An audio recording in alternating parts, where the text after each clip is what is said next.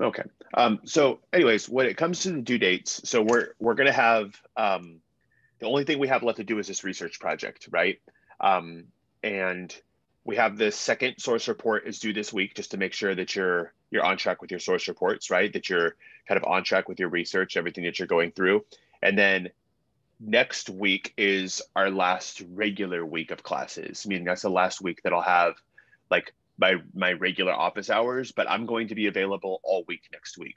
So if there's any time that you need to meet with me, if there's any days where you have questions about um, your research project, if you need a draft of your research project, a piece of it that you have, uh, talk about a source, anything like that at all, I'm available pretty much all day, most every day next week, right? Um, so that means I won't just be like sitting here on Zoom. I will be on both Monday and Tuesday. Um, excuse me, on Monday and Thursday. But just shoot me an email. I'll be at my computer. Um, I'll be finishing up grading your third essays.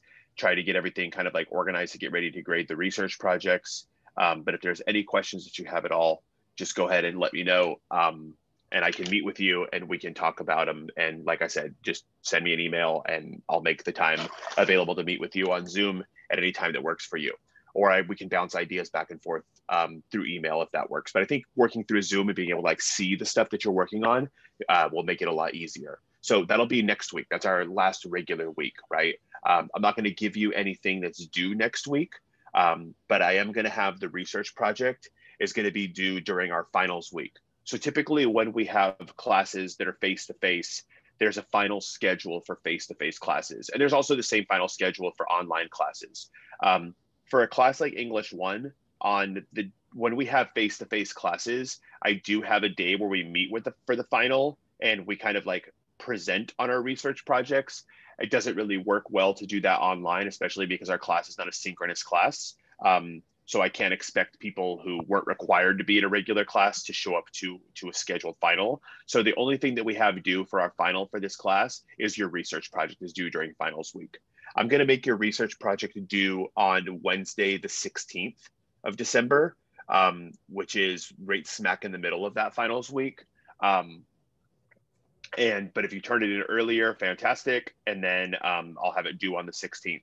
And then what will happen is I'll grade those. Um, I have to have them graded within the last day of the semester is the 18th, and I have to have my grades turned in right after that, pretty much immediately after that. So I'm just going to be grading the research papers off of a rubric. Um, so you'll just get maybe some feedback within the rubric from me, and then the rubric will be graded, and you'll be able to see kind of like in the different categories of, of how the grading was broke down. And I'll post a copy of that rubric next week.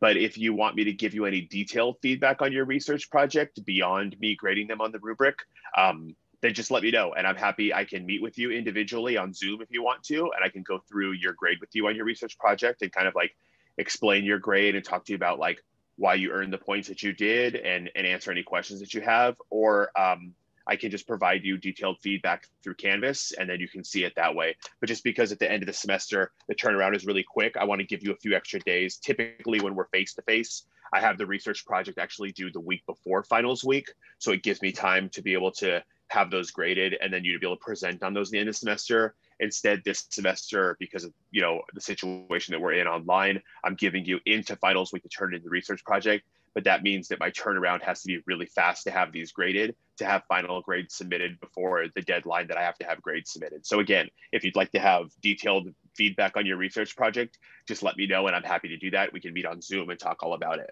So the research projects, I'll be posting this on Canvas, um, are gonna be due the 16th of December. And so that means from here on out, that's all we have left to work on, right?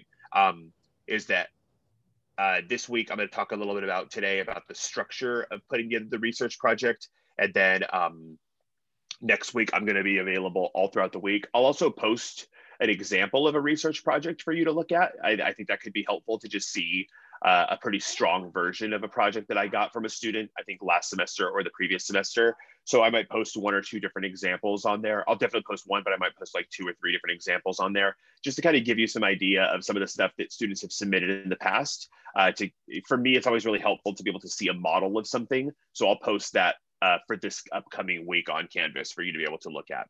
Are there any questions at all about the due date? or anything at all with the, the end of the semester, kind of leading up to the 16th. So basically, once I have it open, and, and I want to give you the opportunity to have this done early because I know that like for a lot of classes, um, you know, you might have like for English classes, it doesn't really make a lot of sense to have, you know, a, a, final like a final exam on the day of. Like a final paper is typically what most instructors do if not all of us. Um, but i know that there are going to be some classes where you're going to have some pretty intense finals right? Maybe some of your science classes your math classes history classes things like that. So i want to give you the opportunity to be able to turn this in early if you need that right? Because if this is something that you can kind of clear off of your plate before your your final schedule starts and before maybe you're taking like a really intense chemistry final that you're studying for or something like that then you can turn your research paper in next week right? And then you'd be you'd be done with our class for the semester. So it's totally up to you whatever works for your schedule but you'll have up till wednesday the 16th to be able to submit these okay? All right so if there's no questions i'm going to start talking a little bit about the structure.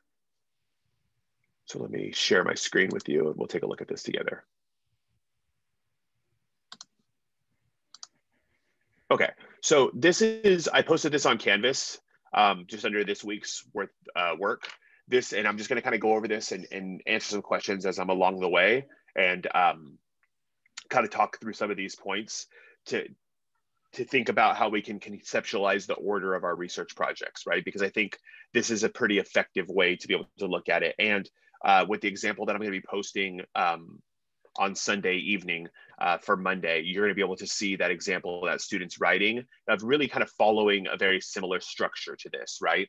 Um, so this is again just posted in this week's worth of work of Canvas, and it kind of breaks down what you should be doing in your introduction, what you could be doing in your body paragraphs, and then what your conclusion of this research project should do, right?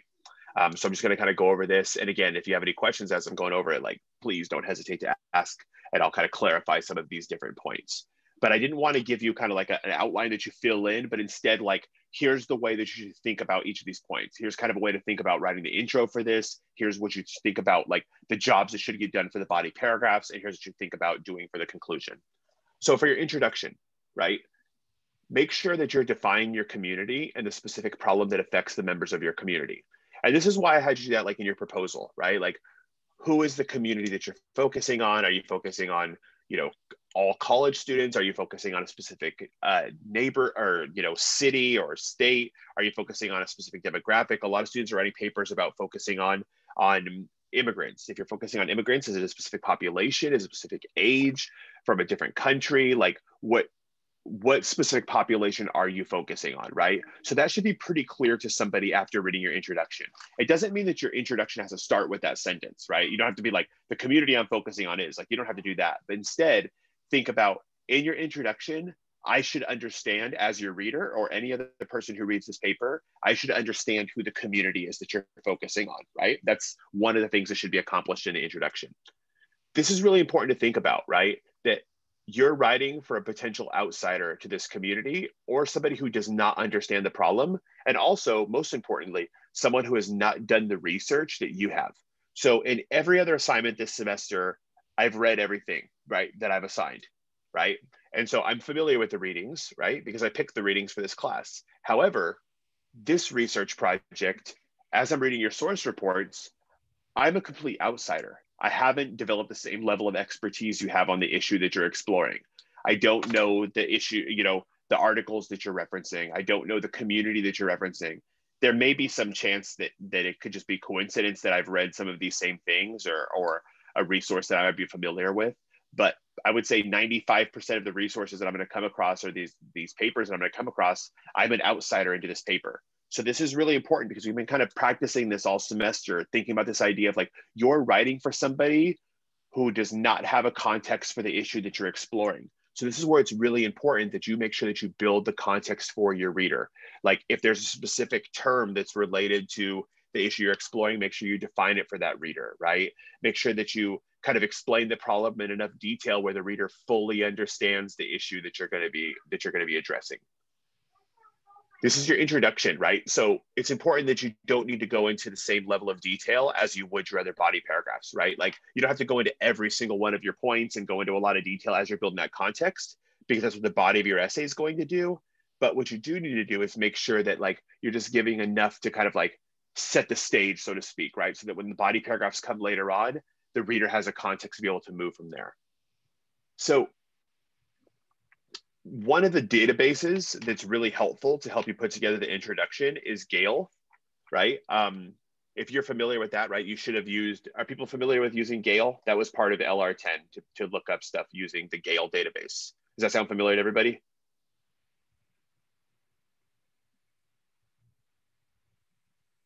Yes, no, can unmute.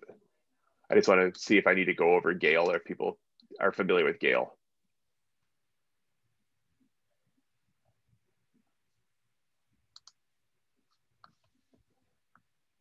Yes. Good. Okay. I just wanted to make sure that like that was familiar. So if you use Gale, Gale's really helpful as you're searching a specific issue, right? Because what it will do is it'll um, give you a context for whatever that issue is that you're exploring. So that could be really helpful to use some like something from Gale to help you build your your introduction. You don't need to. It's just a specific introduction that's really helpful there. Um, so you can really strengthen one of the things that we talked about this semester is utilizing rhetoric right? And remember that idea of like persuasive language.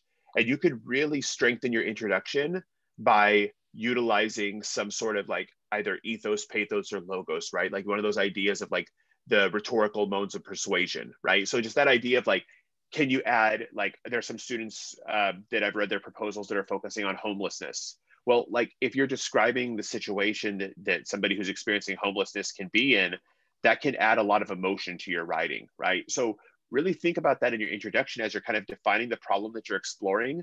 That you might want to think about like, can I kind of question ethics in here? Can I appeal to the reader's sense of emotion in my introduction? Like, and we practice that a lot. And there's some really great examples that you've all done over the semester of doing that in the hooks of your essay and kind of really bringing the reader into these ideas and like grabbing the reader. And emotionally is another really effective way of being able to do that. And then also make sure that your thesis statement contains a, a clear, or excuse me, your intro contains a clear thesis statement. Or sometimes in research, instead of a thesis, there can actually be a question that you can ask. Typically throughout the semester, it's one of those places where I was like, ah, maybe don't ask a question for your thesis. But sometimes your thesis may be coming from a place of like you genuinely don't know. And as you research the issue, that's what you're going to be kind of figuring out the answer to. So it's like maybe you identify, like, let's say, for example, for uh, some of the students who are focusing on like housing insecurity, maybe you identify that like, you know, the rising cost of houses in the Bay Area is creating housing insecurity. And then the question will be is like, how are people faring or how is it affecting people in the Bay Area through these increases in housing costs? Maybe you don't know the answer. Like, I don't know the answer. I have some guesses, right? But my research paper would probably be focused on identifying some sort of answer to that question. So you could make it a statement where you create an argument, right? Arguing the specific problem and how you see the uh, members of that committee are affected, or a question that can say like, you know, what is the cause of this problem? Like for example, I see that in Fairfield, right? Like homelessness in Fairfield is becoming an, an increasingly severe problem. And one of the things that I think about when I look at that is like, what's creating that? Like, I have no idea, right? Again, I have some guesses, but based off of research, based off of like quality evidence, I don't know. And what's the solution for homelessness in Fairfield? I, I don't know, right? Like, I know that something needs to be done. I know that people need support, people need help, but I would ask that as a genuine question in my introduction, as in, like, I don't know what the solution is or what the causes of this problem are, but throughout this paper, I'm going to figure this out, right? And, and these sources that I'm researching are going to help me do that. So that's really important for your intro. These intros are going to be longer, right? This paper should be at, about five pages at the minimum, right? And so you would think that like for this intro, it would be no problem to write a, an introduction that's a page to, you know, a page and a half long, right? That's totally appropriate for this paper. But definitely, I don't think you could tackle this introduction in less than three quarters of a page. Any questions at all about putting together the intro for this essay?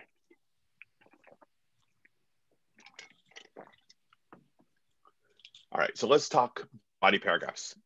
And again, this is all stuff that next week, right? Like, or this week as you're working, Next week, I'm going to be available again all throughout the week. So if there's any times you'd like to meet with me, let me read through stuff, read through your intro when you have it written, you know, talk to you about like where you are in your writing, even read a final draft of research project before you turn it in. I'm happy to do all that, right? But as you're working, like make sure that you're checking in with me and we'll be able to work through this because you'll have the whole week and then into next week to, to work on this to have it submitted um, by that deadline of, of the 16th, right? So body paragraphs. I broke these up into two categories. The first part is identifying the community and presenting the problem. And the second part of the body of this essay should be solutions to the problem. I imagine that this body, you're going to probably have somewhere in the neighborhood of five or six body paragraphs for this essay, right? Um, this is where the bulk of your essay is going to be. So the first ones could be, you know, two, three body paragraphs somewhere in there for identifying the community presenting the problem. So here's what you should do in these body paragraphs. Your first body paragraph of this research project should address identifying the community and the observed problem in more detail. So your introduction kind of hit on it a little bit. Now is where you're diving into it specifically, right? So for example, um, a student in one of our classes is, is writing about um, mental health issues uh, related to the LGBTQ community, right? And so I would say, okay, define that community. What are some of the issues that they're experiencing, right? Like make sure that your reader has a context for that. That could be one of the body paragraphs in this section here. Also, you need to convince your reader of the severity of this problem. This is really important. So make sure that you're using outside sources throughout these body paragraphs. Every body paragraph or almost every body paragraph should be supported by research. This is going to help you build strong ethos and logos, meaning it's one thing for me to say this is a problem. It's another thing for me to find evidence based research or evidence based articles through our databases to support that, right? It's like that's why we see people use evidence all the time. That's why you see people use things like testimonials. That's why when you're getting ready to, I don't know, if I was going to be selling you a product, right? And if I was going to say, like, oh, you should, you know, I like, we can see it happens right here with this book, right? Like, right on the cover of Trevor Noah's book, there's evidence of the quality of this book. Because look, right down here, USA Today says it's soul nourishing pleasure, an enormous gift, right? So, like, right out of the gates, you're seeing that people are always trying to quantify the statements that they're making with evidence, right? And so that's true of your body paragraphs. Every argument that you're making throughout this essay becomes substantially stronger if you're supporting it with the research that you've done leading up to this point and helping you build on the research project. So these aren't your opinions on this issue. This isn't, here's what I think is a problem, or I was driving through Fairfield and here's what I saw. This is evidence based, right? This is, here is what the research is saying about this. Here's what I'm seeing in my community. And here's how these two things are supporting each other. Does that make sense? So all the body paragraphs that you're adding in this body in this essay, you should be supporting them with the research that you've been that you've been working on. So right? The reason that we correct, collected all this research is to convince the reader that our arguments are, and that the stronger you connect your ideas to the sources you gathered, the stronger your claims will be, right? And again, we see that people doing that all the time, right? The stronger their argument is, the stronger it's based in data, the stronger it's based in research, the stronger it's based in what somebody else has to say, right? So each body paragraph, again, supported by strong examples and analysis. Now, these can be personal examples of things that you've seen, right? I'm not saying that you can't use the personal experience in here, but the personal experience, just like when we're using those in other essays, we're still supporting them with evidence from the readings. And in this case, you'll be supporting them with evidence from the research that you've been doing. And your body paragraph should build on one another. The relationships and the purpose of them and the order should be clear to your reader, right? Like maybe this shows the community maybe this shows one problem this shows another problem. So like in addition to identifying the community you should be presenting the problem right? Like that should be really clear. And maybe it's a two part problem or a three part problem or maybe it's a singular issue right? But that's what the early body paragraph should do. And again this should be at the minimum two and somewhere around three or four body paragraphs to be able to tackle this part any questions on this first part of the body of the essay um, are you saying the just presenting the problem and the community should be three or four paragraphs? Yeah, something like that. Okay. Right, because it's going to be more than one issue related to the problem. I mean, it could be it could be done in three, two at the absolute minimum, but they'd have to be pretty detailed, robust paragraphs. Yeah. Um, but yeah, it'd probably be about like I imagine around like three paragraphs for this part.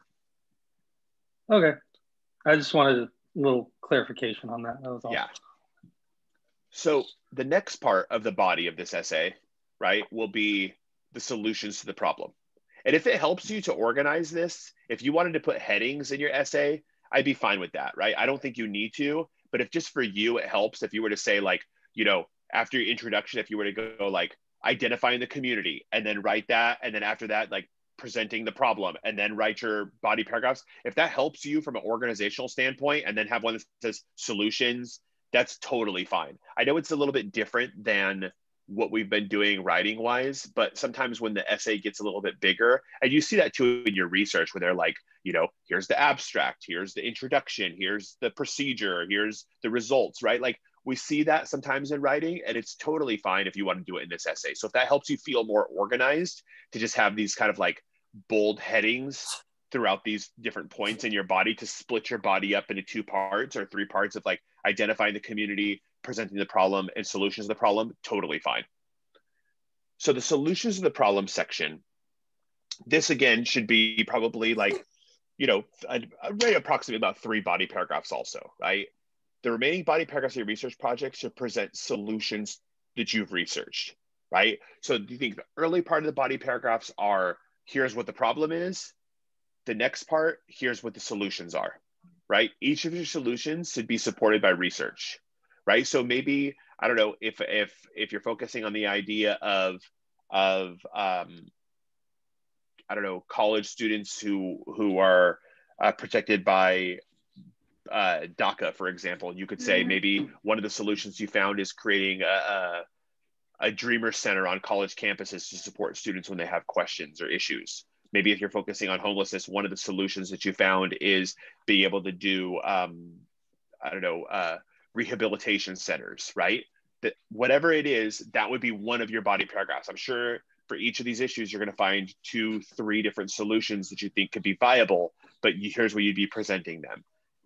Every solution that you put, same thing, you got to make sure that you're supporting it with research.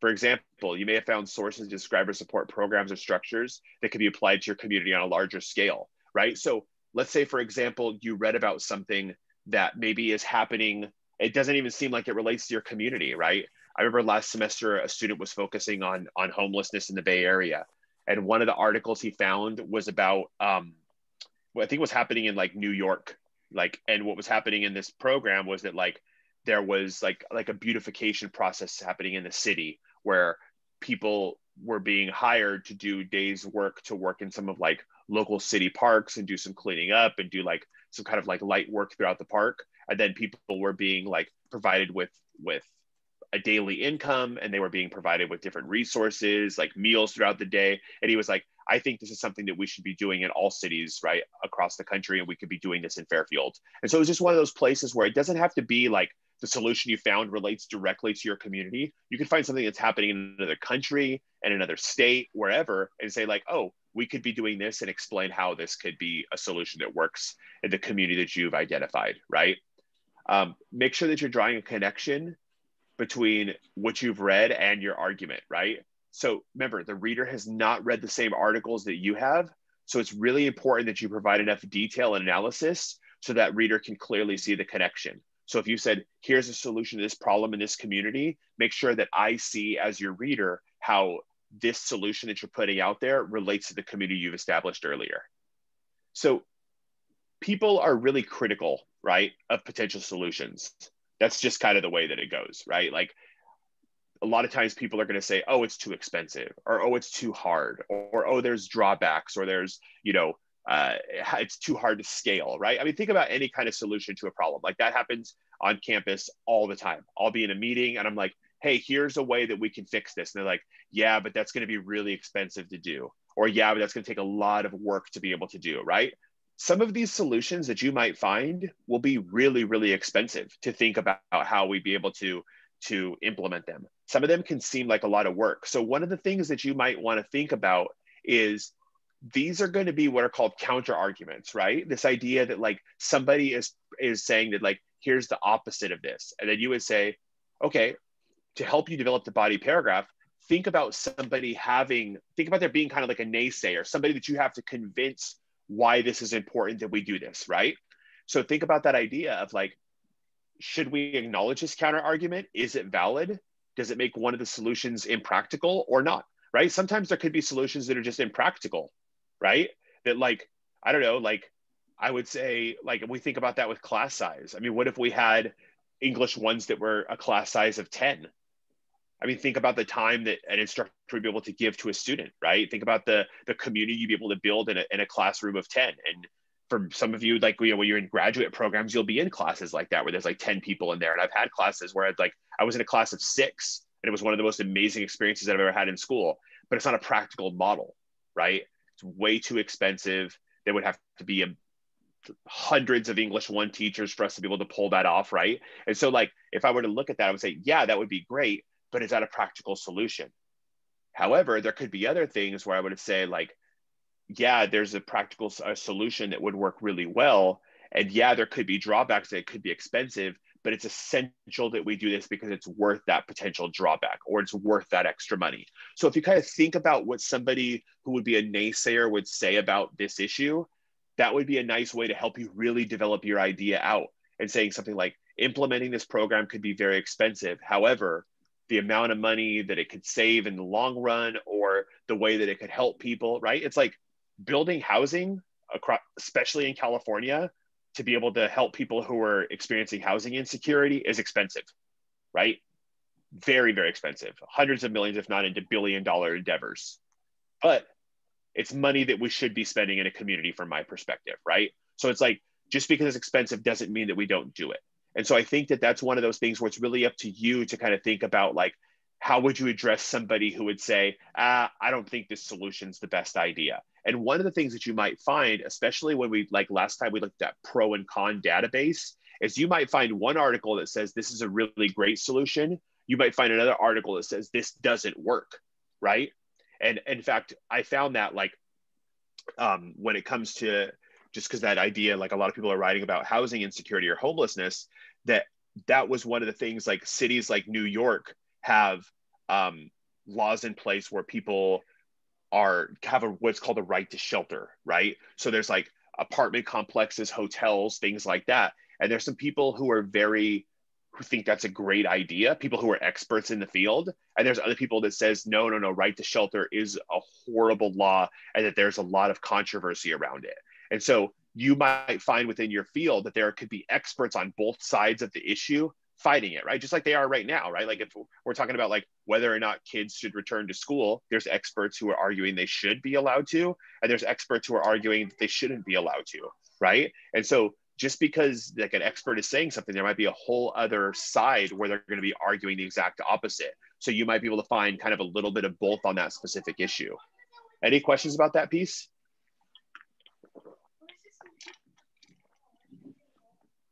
So same thing here, right? Body paragraph supported by strong examples and analysis, right? That's really important.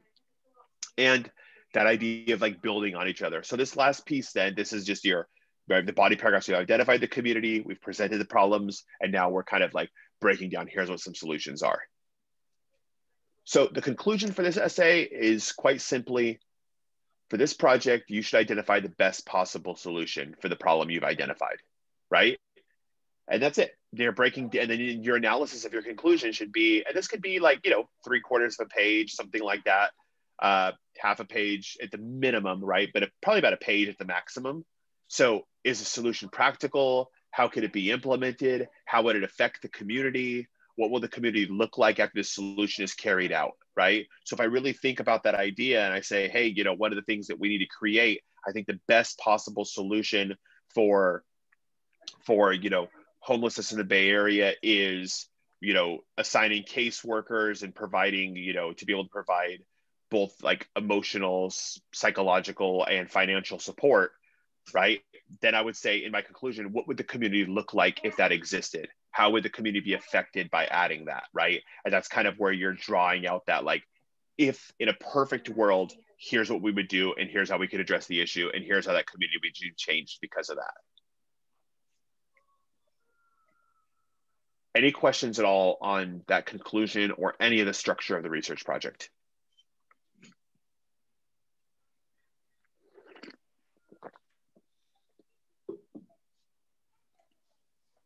So the structure, I mean, seems, I would hope, pretty straightforward, right? Like, does it feel that way? Are there any moments that, that feel unclear? Anything that feels kind of like overwhelming or or that you have some some doubt or some questions about?